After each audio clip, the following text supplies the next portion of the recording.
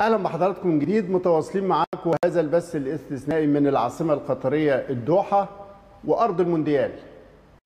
طبعا إحنا بنتكلم في شكل استثنائي بقول لحضراتكم لأنه في ظل الظرف الطبي والظرف الاحترازي يمكن لو الناس شافونا قاعد أنا والمهندس عدي وفي بيننا مساحة تباعد أقل من متر هتبقى في مشكلة كبيرة، لكن علشان الأهلي وعلشان البطولة خلينا نستحمل وعلى ذكر كأس العالم للأندية والكورونا الكورونا أثرت باعتبارك خبير تسويق بقى كبير وراصد قيمة البطولة في في الدورات السابقة. لا دي أثرت جدا. ده كويس إن البطولة هتتلعب. أها. يعني بخلاف بطولات كتير على مستوى العالم اتلغت. آه، اتلغت. آه. لكن آه، كورونا اولا آه، آه، جوائز البطولة كانت 29 مليون دولار على الأدوار المختلفة.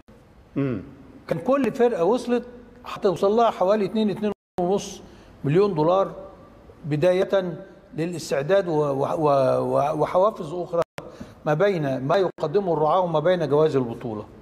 الفائز بالبطولة كان هياخد 6 مليون دولار زائد 4 مليون دولار حوافز آه، آه، جانبية من الرعاة. الكلام ده كله نزل بنسبة 40 45%. ليه بقى؟ لأن طبعا آه، حاجتين حصلوا كورونا أثرت على التواجد الجماهيري.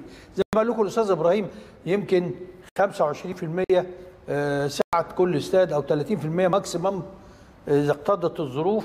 يعني آه، ال- آه، يعني 60 65% نزلت نسبة المشاهدة في الملعب. ودي دي مبلغ كبير جدا مع آه، توالي ال- المباريات.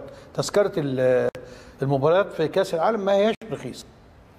بالإضافة إلى برضو الاعتذار بتاع أوكلاند سيتي عشان الكورونا وعشان آه، آه، تأكدوا إنه مش هيستعدوا استعداد جيد آه، أفقدت البطولة عدد معين من المتابعة المهمة جدا قارة تقريبا بحالها خرجت من السوق. فخرجت من السوق حتى في عوائد البث يعني مش هتاخد البطولة- حاجة بما يعني آه. بما تمثله من ثقل تسويقي كبير جدا.